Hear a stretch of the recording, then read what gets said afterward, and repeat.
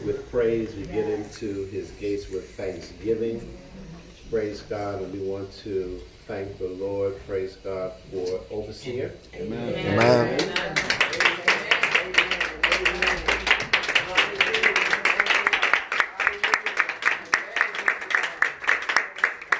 Thank God for Apostle Jackie. Amen.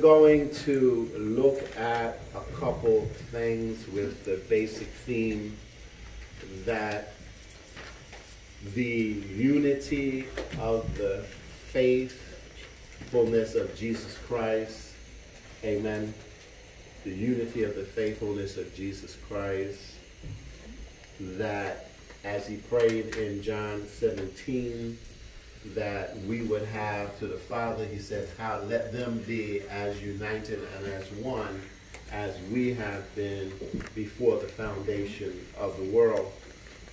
And God is holding all things together.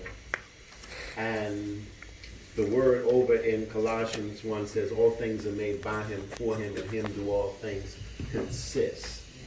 And he holds all things together. Amen. The Father. So we want to look at the Father, how the Father deals with us. Amen. Because of his Son's completed redemption. Yes. I said completed, say neighbor. Neighbor. Completed redemptive. Completed redemptive work. And we're going to look at a couple scriptures here. Our main scripture is going to be from Luke 15 but we, I want you to look at, uh, we're going to go through these scriptures. The first one we're going to start with is 3 of Exodus, how the Father keeps things going so that our energy, our flame, and our fire, and our destiny is never extinguished. Never extinguished. We're going to also look at um, Romans 8, 14 through 16. And we're going to look at first the first chapter of Philippians, verse 6. Verse 6. And I don't know whether you know or not, God makes no mistakes. None. Amen. And I forgot, we're also going to look at Jeremiah um, chapter 1. Chapter 1. So write these down in case I forget them. Okay? Amen. Which I won't, praise God. So let's look at Exodus 3 1. Exodus 3 1.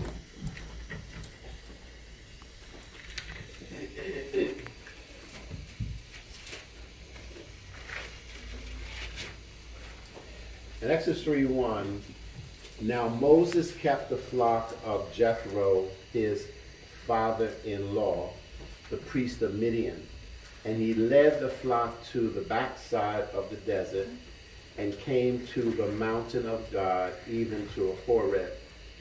And the angel of the Lord appeared unto him in a flame of fire out of the midst of a bush. And he looked, and behold, the bush burned with fire, and the bush was not consumed. Um, as I said before, we don't worship angels, but we better be careful to acknowledge their work. Yes. Their work, their presentation. Now, this angel does not, the Bible does not give this angel's name. But there's three angels that the Bible does talk about. Amen. Three angels that the Bible does talk about. But when we see usually a divine encounter, usually an angel is involved in it. usually an angel's involved in it. So that's like I said, we don't worship angels, but we thank God that they are heirs unto the children of salvation. And as I told you a little while ago, I thank God that I'm saved. Amen. How many people here are really saved? Amen. Okay? So we know that the angels work and operate in strength as they hear the word and the commands of the Lord. So this was a calling and an encounter that Moses had for destiny. Say destiny. Destiny. Destiny. That's Where you are going, where you're destined to be. And what I want you to see this morning is that God knows every path, every pothole, every detour, okay, every stop, amen, every picnic, every falling away, amen, every perversion that you will encounter in your destiny. Because if you're truly going to get to your destiny, you're going to encounter some things. Mm-hmm. But God Amen. is able to do exceedingly Yes. and abundantly Yes. over that which we ask or think. Yes. Amen. And also the things that we're not thinking of. All right. Come on, somebody. Amen. The secret faults, Yes. Yeah. the secret sins. Yes. Amen. Come on, somebody. He is, Amen. he is still able to say, neighbor, he's able. He's able. He's able. Now, the fire was burning the bush, but the bush was not consumed. And Moses said, I will now turn aside and see this great sign, why the bush is not burned. Okay? Yes, sir. Now he said, I am going to see, uh, I turn aside and see the great sight, why the bush is not burned. Why the bush is not burned. Why it didn't kill you. Why it didn't lock you up. Why it didn't put you on your deathbed. Why it didn't drive you crazy. All right. Come on, somebody. All right. Amen. Yes. Hello, somebody. Hello. Amen. Hello. He said, I'm going to turn Hey. around Hey. and see why this thing is not burned up. Yes. Because I know, I don't know about you, but there's some situations Yes, where God. it should have been burned up. Yes. Yes. Yes. Yes. Hello, but it was not consumed. Yes. Amen. Amen. He said, I'm going to turn around and I'm going to see. I'm going to look at the sight of this. Now, I want you to go over to um, Ooh, Romans 8. No, Jeremiah. Jeremiah. Let's look at Jeremiah 1. Jeremiah 1. Let's look at Jeremiah 1. Ooh, Jesus. Thank you. This Jeremiah does not take hats that doesn't belong to him. Oh, He has a son, Jeremiah, that took one of my hats. I couldn't find one of my hats. He likes hats. Likes hats. They're not his. Okay, let's look at Jeremiah, and I want you to see the relationship that God has had with us before the foundation of the world. The fact that we're here today is not because of the things that we see, amen, but the things that are not seen, seen. All right. amen. Amen. And before, before you got here and before the foundation of the world, there was relate, there, there was a relationship. Hello, somebody? Amen. Now that relationship was tarnished and perverted through sin, but there was a relationship to launch you into destiny. Amen. Destiny. And how many people have made investments and it didn't work out right? Mm-hmm. How many people have trust folks and it didn't work out right? Mm-hmm. Okay? Oh And yeah. we try to always make better investments. Now, if we were more intelligent and had more knowledge of that which we invested in, right, or how to make the, the best investment, we would not make bad investments, right? Mm-hmm. That means we would have greater knowledge. We would look at the charts, look at the past performance, look at what the company's invested in and what the uh, board consisted of and who's on these things and a lot of stuff to know, right? So we can make good investments. So God says, when I have invested in you, I made a good investment. I made a good investment. But Jesus said, I've lost none, Oh, none. except for the son of perdition. Yes. I've lost none. Yes. Amen. So he hasn't lost his investment. Amen. Amen. Now, let's go back and try to think that even before the foundation of the world, Jesus Christ was slain for us. Yes. Before the foundation of the world. Yes. Amen. Yes. And I believe once we're able to see beyond our small neighborhood, our small family, our small, and begin to see big. Hello, somebody? Hello. And know that even in this affliction, affliction this light affliction, affliction, amen, is only for a moment, but it worketh a greater weight of glory, and that glory is attached to destiny, which existed and was planned before the foundation of the world. And before the foundation of the world, that's when God inscribed our names in the book of life. Listen to me. Amen. So he can say that I've given you things pertaining unto life and godliness through the knowledge of my son. And see, in the lack of knowledge, we become very limited because we're trying to think with the carnal mind. And if you think carnally minded, it is unto death, which means deprivation. But if you think spiritually minded, it's unto life. Mm-hmm. Amen. Prosperity. Amen. It's about the joy of the Lord when you think, think spiritually minded. Amen. Now, in Jeremiah, God is talking to the prophet and he's releasing some knowledge so he can understand his prophetic calling. Now, everybody has a call. Everybody has a call. But you're not always able to hear the call or understand the call due to distractions and lack of knowledge. And basically, the lack of knowledge of this book. Of this book. Because this book is the gospel, Yes. which is the good news Amen. Mm-hmm. which is the good news. Now, it's good news in the midst of bad news. All right. And the Spirit of God says you still have power in your pain. You can still have power in your disappointment Yes. because I am that I am. Yes. And when Moses said, Who should I go and talk to Pharaoh about letting my people go? He said, like, well, I just can't jump up in the Pharaoh's face like that. Okay? Okay. He said, Tell him I am that I am. Yes. And the Spirit of God says you can jump in Satan's face Yes. Oh, if you submit yourself unto me.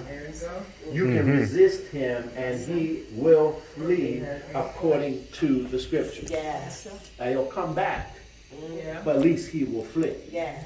So God is speaking to Jeremiah the prophet, and it said, The words of Jeremiah, the son of uh, Hilkiah, of the priests that were in Anath- Anathoth and the land of Benjamin, to whom the word of the Lord came in the days of Josiah, the son of Amon, king of Judah, in the thirteenth year of his reign. Now, this is very, very specific time very, very specific time, and God speaks to you at a specific time in reference to eternity, not time. But He captures you in time, but He speaks to you in eternity. Mm-hmm. Hello, somebody? Amen. And it came in the days of, Jer- of Jehoiakim, the son of Josiah, king of Judah, unto the end of the eleventh year of Zedekiah, the son of Josiah, king of Judah, unto the carrying away of Jerusalem captive in the fifth month. How, how what? How precise. Mm-hmm. And that's how God is. He's speaking at a very precise time. And he says, turn off the television, mm. turn off the radio, mm. turn off your mind. Mm-hmm. Hello, somebody. Mm-hmm. Hello. Have it stayed on me Yes. that you're able to hear Yes. what thus saith the Lord. Let he who have an ear hear mm-hmm. what thus saith the Lord. Now we know what this person says and what that person says, but you know, people say, well, that's the way it is. No, that's not true. It's what God That's what says. God said. It's what God says. Yes, it is. Amen. Yeah. All right. Then the word came unto me, saying, Before I formed thee in the belly, I knew thee. So before that seed of sperm okay, came and fertilized the egg, amen, there was a time that you did exist before that. Yes. In the, in the Mind mind of of God. God. Mhm. In the mind of God. Absence from the body, His presence. present with God. So we were present with the Lord. Yes. Amen. Yes. I, I'm sorry. Before I formed thee in the belly, I knew thee, and before thou camest forth out of the womb, I sanctified thee and ordained thee a prophet unto nations. So I knew you before, and while you were in your womb, I anointed you. Come on, somebody. And I proclaimed Yes. your destiny. Yes. Mm, come on, somebody. You. Amen. Yes. Now you were anointed. Now there is a process. We don't understand that many of us are anointed. Hello? Hello. And we want to go from anointing to appointing. But there is a process called anointed, amen, approved, Uh-huh. and then appointed. So there's a time we're going to see that you have an anointing, amen, but you must go through the approval process before you can have the appointment. Yes, amen. And as I tell everybody, when I got into medical school and I was looking at all this and all that, I said, I don't think I want to really finish medical school. I just want to be a doctor. All right. That's how we do Okay? And I would have been a wreck to somebody's life had I not finished my training. Yeah. And God says is that we're getting ahead of the training, hello somebody, and we're wrecking children, we're wrecking marriages, we're wrecking churches, we're wrecking lives because we don't want to go to through the approval process. We don't want to go through the training. All right. You can only handle what you have been trained to do. Mm-hmm. Hello, somebody? Amen. All right. I am a licensed physician, which means I could just take somebody in my office and do brain surgery. I have a license to do that, but I am not a trained surgeon for the brain. All right. I'm not Wow. Amen. Okay, I could open somebody's chest uh-huh. and do heart surgery. Okay, and say it came out right. They could not, the law could not say anything against me because I am a licensed physician and surgeon. I'll show you my license. It says licensed physician and surgeon, Uh-huh. but I'm not trained as a cardiothoracic surgeon. All right. Okay, so I'm All going to right. fumble and bumble. Amen. So we need some training. Okay, appointed, amen, approved, and anointed. Okay? Uh, David was appointed king at about what, 14, 16 years old? But it took him another 15, 16 years to become approved. All right. And he had to go through something to be approved. Yeah. But all the time he was going through something, he acknowledged God's anointed. And he would not touch Saul. All right. love somebody? Uh-huh. He would not, because he said that's God's anointing. All right. Amen? So we have to understand there is an anointing. Yeah. There is an approval process, and then there is an appointment. Now remember, before the foundation of the world, you were sanctified. You were called. Amen. And the Lord knew you. But there is still a place. He is not going to release you, okay, with the appointment, but He will release you with the anointing. Uh huh. Now, the anointing is the manifold presence of God. Jesus says in Luke 4, I am anointed to preach the gospel to the poor, to heal the brokenhearted, Yeah. To preach deliverance to the captives, to recover sight to the blind, and set at liberty the them that are bruised, and preach the acceptable year of the Lord. And he was quoting from Isaiah 61, but he said, I am anointed. But let me tell you something. he had to be approved by going to the cross. Yes. Then when he got up out of the cross, then he was appointed. He was appointed to what? To sit on the mercy seat. Then he was able to sit by his father, amen, Amen. after he had wiped the blood on the mercy seat Yeah. and claimed that this is a complete and finished work. Yeah. I love somebody. I. Amen. Yeah. So he had to be what? Approved. When when when um when he was brought before um not Pharaoh, Potiphar, not Potiphar, Pilate, Pilate. Okay, Pilate said, What I have and find no fault in this man. Mm-hmm. Because he was born without sin. But he still had to go to the cross. That was the approval process. Twice, twice, the Father said at his baptism, This is my son, whom I am what? What? Well pleased. At the Mount of Transfiguration, this is my son, whom I'm well pleased. Now what? Now hear him. So he always offered the fact that in his in his journey of being approved, he was pleased.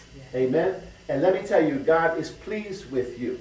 Amen. He's pleased. Even in the midst of it, as long as you stay on the path, don't get off the path. Don't get out the car. Okay, before the sunshine comes. I think I told you the story about that. Yeah. I've seen people get out of the car and get mad with those who stayed in the car to sunshine. Yeah. And they're still in the midst. No husband, no wife, no money, no nothing, because they didn't stay rooted and grounded in the hope of the gospel of Jesus Christ, which establishes us a son. Yeah. Oh, come on, somebody. Y'all help. Come on. I'm just trying to set something up for you. This Okay? is tasty. Amen. This Now- is tasty. Let's go over to let's go over to Romans. Yeah. Romans 8 14.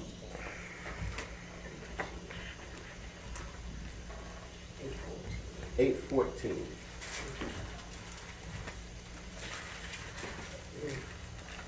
Let me see that to satisfy my sweet teeth. Lord have mercy. now, you it's imperative that you know who you are. Amen. Amen. According to the gospel. Yeah. It's imperative that you know who Yes, you are. is. Because the enemy will always try to tell you something Yes, Lord. so that you will not know who you are to disqualify you. All right. Yes, Amen. Lord. So that you will try to cancel your destiny. Yes. Hello, somebody? Amen. Because if you keep talking crazy, All right. you're going to act crazy. Oh, yes, yes, sir. And people are going to deem you crazy. Uh-huh. Mm-hmm. Hello? Uh-huh. And they want to be bothered with you. That's right. Now, I remember in South Philly, in the streets, and they were, we were going to another neighborhood, and we said, man, what we going to do, such and such and such. Man, you got your razor, you got this, you got that, you got a stick or whatever. And one guy said, man, all you got to do is act like you're crazy. act like you're crazy. You don't like crazy folks. Amen? All right? Well, the word says that any man that says there's no God, he's a fool. Yes. Hello, somebody? So watch out for those that say there's no God. All right. And what they're saying is they don't know who they are. Amen? Now, let's look over at uh, 14 of uh, Romans 8. For as many as are led by the Spirit of God, they are the sons of God. Okay? Now, follow this. If you're led by the Spirit, by the Word of God, amen? Amen. For ye have not received the spirit of bondage again to fear, but you have received the spirit of adoption. Mm. The spirit of adoption. Okay? Mm-hmm. Whereby we cry, Our Father. So we adopted by him, amen, because we were once enemies to the promise, amen, even enemies to our own selves, set apart. But through the blood of Jesus Christ, God has made us a holy habitation and called us sons by the Spirit. The Spirit itself beareth witness with our spirit that we are the children of God. Okay? We're children of God. Everyone that is created, okay, is a creation. But unless you receive Jesus Christ for the adoption and restoration and reconciliation, you're not a child of God. There's no covenant rights. Now, when you look at 15, it says the spirit of adoption. We cry, Abba Father. Now, this adoption is very interesting because in most states, if you adopt a child, okay, in terms of your will and the child's inheritance, you can't remove them. A natural child you can remove, mm. but not the adopted one. So because we are adopted, we cry out Abba Father, and God is obligated, okay, to bring forth the promise. He said, I received the what? A command to bless. Uh-huh. And I cannot reverse it. So it cannot be reversed. Amen? Amen. And if children, 17, children, then heirs, heirs of God, and joint heirs with Christ, if so be it that we suffer with him, that we be glorified together. Mm. For I reckon, that means it's accounted, that the suffering of the present time are not worthy to be compared to the glory which shall be revealed unto us. Who is that? The children of God. So you know that whatever suffering is, right down the road, some kind of way, amen, that's been laid up before the foundation, the glory and the promises of God are being revealed, not to be revealed, but are being revealed. Because you go from glory to glory, doxa to doxa. So the Lord says, stop trying to do it from the flesh because no flesh No flesh. can stand in the presence of his glory. 1 Corinthians uh, 129. Amen. Cannot do it. So it has to be through what? The spirit. And this thing is spirit to spirit. Yeah. Amen. And I'm just going to show you something in how the church acts. Okay? Okay. And remember that Jesus said, My Father's house Uh-huh. is a house of prayer for all nations. Yeah. But you have made it what? A den of thieves. Okay? Yeah. You say, well, what's that mean? We're not selling chickens in the house. We're not um, we're not uh, uh, changing money in the house. We're not doing this. But God says, stop stealing the people's opportunity to repent, receive my mercy, receive my grace, my restoration and reconciliation. Stop stealing it with condemnation. Come on. And I'm talking to pastors, I'm talking to leaders. Stop stealing what goes on in the house of prayer because with prayer, things are changed. Yeah. Because the power and the mercy of God. See, what, once we begin to pray, we get heaven involved. Amen. Because we have the keys to the kingdom of what? Heaven. Of heaven. Enter. Come on, somebody. If we loose something on earth, it's loosed in heaven. If we bind on earth, it's bound in earth and heaven. So we have power of heaven and earth. But it has to be what? The loosing and the binding is the speaking of the word in love. Yeah. I love somebody. Yes. And I was talking to a pastor, you just can't, you can do these things that the gospel says to people with correction and etc. But it has to be done out of spirit of love, not in condemnation, Yes. Yes. not out of the flesh. Yes. Hello, somebody? And the Spirit of God is telling me, woe unto those who call good evil and evil good. Woe unto you who are whitewashed on the outside, amen, come on, but uh, what, like dead man's bones on the inside. All right. He said, refrain from putting burdens on people's shoulders mm-hmm. and not be willing to lift one burden. Somebody ought to tell God, thank you. Thank you. Thank you, Lord. Thank you. Stop. All right now. One last scripture before we get into what, and I'm trying to set this up for you very clearly. Praise God. We're going to go to Philippians 1, verse 6.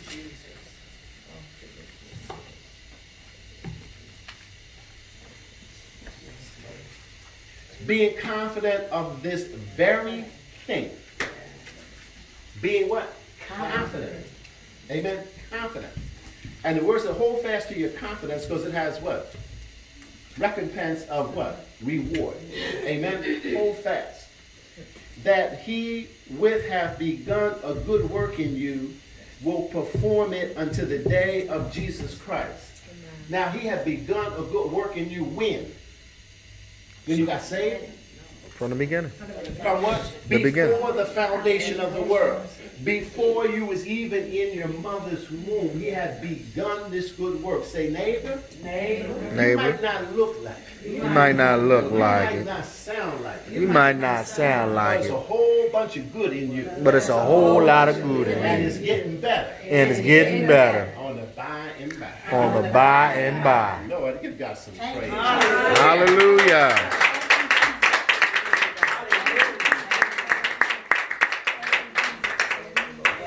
Now, let's go to, we're going to do, and we're working with this, how the Father wants everything to come together. Amen. The man of God was saying forgiveness. Forgiveness keeps things together. Yeah. Okay? Unforgiveness separates. Yeah. Okay? Amen. Now, you can forgive somebody and don't want anything to do with them, and you shouldn't have anything to do with them, and that's cool. That's your comfort level. Mm-hmm. But make sure you have forgiven and work on this place of forgiveness mm-hmm. because we have been forgiven. Yeah. Amen. Okay? We've been given a what? Past, mm-hmm. present, and future. Amen. So that's the complete redemptive work. Because if there's something that we have not been forgiven of, then God would have to come back and send Jesus again. Mm-hmm. So God is not punishing us.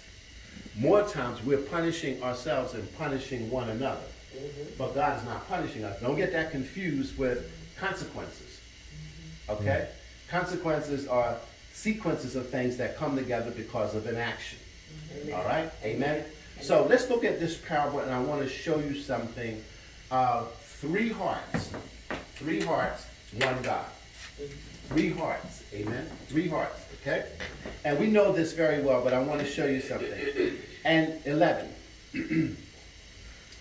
And he said, A certain man had two sons, and the younger of them said to the father, Father, give me the portion of goods that falleth to me. And he divided unto them his living. And not many days after the younger son gathered all together, he took his journey. In, Where are you at? I'm sorry, Luke 15. Oh, you, you said Philippians. I'm about to say. Okay, I'm sorry. I thought I said Luke 15. Luke 15, 11. I did say it? I thought so. No, I thought it said Philippians 1. What did I say, Pastor Judy? Luke 15. Luke 15. Okay. so- All right. Merci, madame. Okay.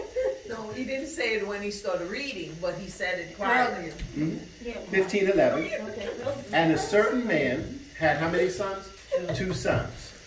And the younger of them said unto his father, Give me the portion of goods that falleth me. And he divided unto them his what? Living. Amen? He divided unto them. Right? Mm-hmm. And he said, Not many days after the younger son gathered all together, he took a journey into a far country, and there wasted his substance with riotous living. Amen? So he took something that he didn't know how to handle. Mm-hmm. Okay? Mm-hmm. And he took it and he desired to go somewhere. And the Lord is saying, don't just wander, here where you're supposed to go. It's those that are went mm-hmm. and those that are sent. Amen. Hello, somebody? Amen. Amen. I waited until God sent me. Amen. I waited until God sent me. Because when you're sent, that means that the Holy Spirit has prepared a way. Yeah. And if you would look at, if you don't have to do it now, but if you look at Isaiah 43, it says that John prepared the way for our God. Mm-hmm. Okay? John the Baptist prepared a way for our God. That means he, he made it possible as praise and worship and the suffering of prayer and the prevailing and the travailing of prayer makes teaching and preaching easy. And we look at things with such a very narrow perspective. All right. And that perspective is you might see a great revival going on and signs and wonders and miracles. They don't come in the day before. All right. Praise. Okay? Hallelujah. They start that travailing and laboring in the spirit maybe for a year. Yes. Mm-hmm. They sanctify those grounds. Amen. They fast, they pray, they give, they lay prostrate before the Lord because there's preparation time. So this person decided, well, look, I think I just want to get my part, okay? I want to get a collar, amen. I want to get a staff. I want to get a staff, thank you. I want to get a staff. I want to get a big Bible. I want to get a cross. And I want to go out and I want to start a church. Mm. Hello? Okay, I want to start a church. So that's something that you want to do, but again, that's not something you are approved to do. All right. Hello? Amen. Amen. And many times, and I say to leaders that we ordain and promote and elevate people because of their gift, not because of their humility mm. and their anointing and their relationship with God. Hello? Because they're sent too early. They're sent too early. And the church back in the day, before you could get to the pulpit, you had to make sure everything was clean. Yes, sir. Hello? Amen. You had to make sure your pastor wanted for nothing. Hello? You had to mix up, oh, what? Go clean your pastor's house. Clean the pastor's house. Who they think I am. Okay? You said, why would you clean the pastor's house? So that the pastor would have time for prayer and the word.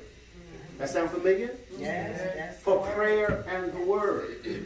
Okay? So you have to be separated from the carnal thing because the carnal mind is an enmity unto God, not subject to the laws of God, neither can it be. Because unless you're willing to serve, you cannot minister this gospel effectively to the souls of people who need to be served. Hello? So he wanted to take his living and he wanted, I mean, his money and go do what he wants to do. And that's most of the time